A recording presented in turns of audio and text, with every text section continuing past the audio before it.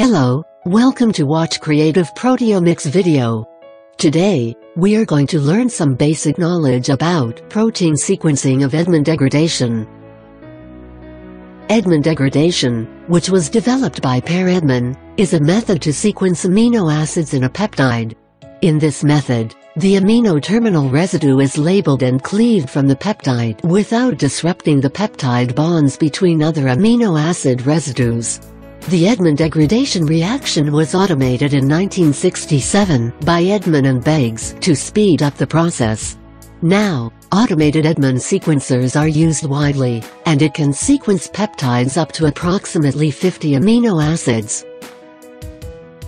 Cyclic degradation of peptides based on the reaction of phenylisothiocyanate with the free amino group of the N-terminal residue such that amino acids are removed one at a time and identified as their phenylthiohydantoin derivatives by chromatography.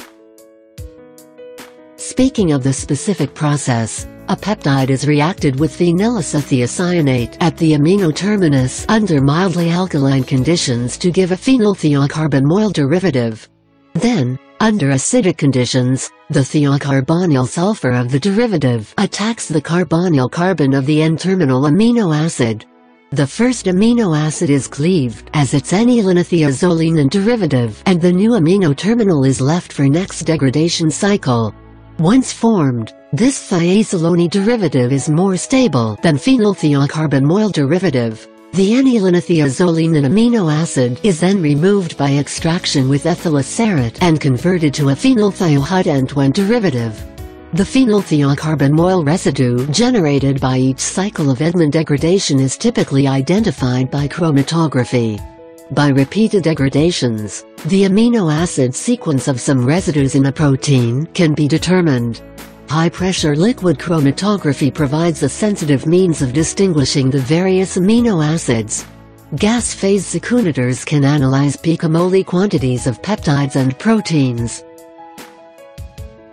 With mass spectrometry was developed, the use of Edman degradation sequencing began to decrease. However, it still remains the methods for several types of protein structural analysis applications. It can be used to verify the N-terminal boundary of recombinant proteins or determining the N-terminus of protease-resistant domains, particularly when the protein or domain cannot be readily purified. It also can be used to identify the new N-terminal and proteolytic cleavage site in the protein fragments. In addition, as to some novel proteins and peptides where sequence databases are not available for mass spectrometry database searching, Edman degradation can be used for analysis. As the N-terminal amino acid of the protein can be cleaved off, the first cycle identifies the exact N-terminal amino acid. In addition, because the released amino acids are identified and quantified by chromatography, the amino acids with identical molecular weight can be identified.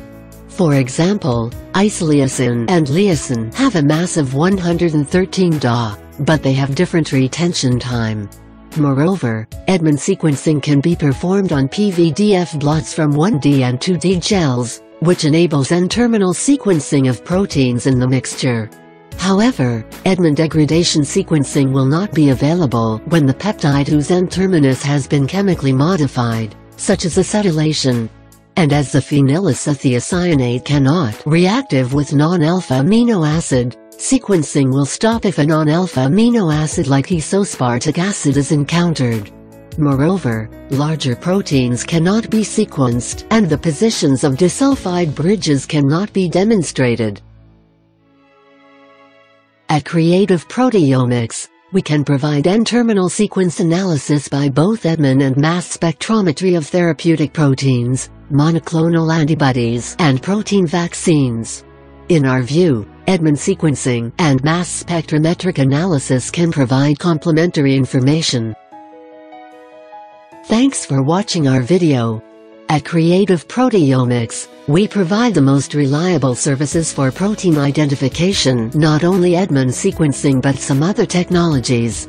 If you have any questions or specific requirements, please do not hesitate to contact us. We are very glad to cooperate with you.